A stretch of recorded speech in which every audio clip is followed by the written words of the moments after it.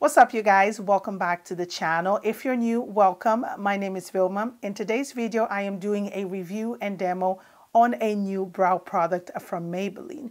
This is called the Brow Precise Fiber Filler and it's supposed to be a filler for your brows. If you have like already kind of like sparse brows, you apply this and it's supposed to make them look a lot fuller. Now it comes in three available shades. I believe the price is either $6.99 or $7.99. I will put the price up here because I can't fully remember how much I paid for.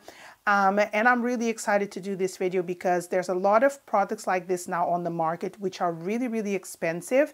This one is pretty affordable. Maybelline has really nice products for the brows which I've used previously. Um, but yeah, I'm excited to try this one. Now the shade that I have here is the darkest shade.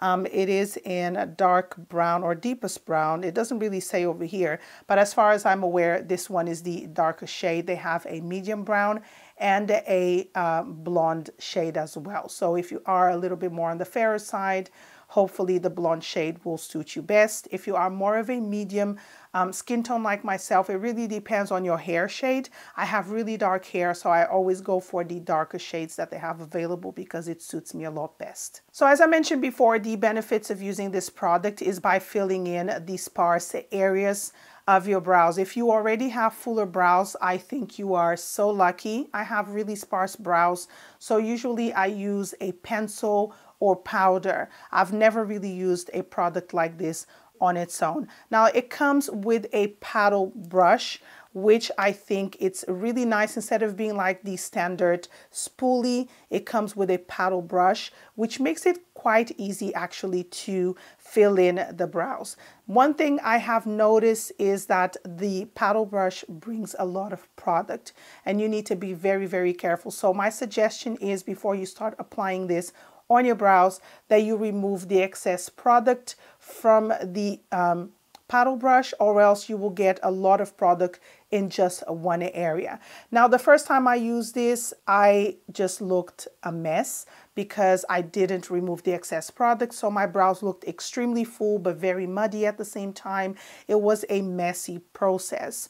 The benefit out of all of that was that my brows were set in place and they didn't move the entire day. So now that I know how much product I need, I feel like they look a lot better. But as I mentioned before, I have really sparse areas. So I don't feel like this product is a all-in-one product for myself because of that reason but I do like the fact that it sets the brows in place and if you have just the right amount of product. They don't look muddy. It just looks very nice and tidy. So what I also did um, and I do that every day is using a brow pencil also from Maybelline. I will put all the products that I use on both brows in the info bar below because I used a brow pencil on one side and the other one. Is also a brow pencil. They're just different um, different finishes, if that makes sense. They come in different packaging and stuff like that. I felt like I needed a brow pencil to fill in my brows again because um, I don't feel like this product alone does a good job on my brows just because they're very sparse and they need a little bit of definition. But overall, I do think that this product is really, really nice, especially for the price point. And as I mentioned before, if you already have fuller brows. I think you will really, really like this as long as you find the perfect shade for you. And keep in mind, there's a lot of product on the paddle brush. Remove the excess product and I'm sure that you will really enjoy this product. So that is my quick review and demo on this new product from Maybelline. I do hope that you guys enjoy this video and I'll see you on my next one. Bye.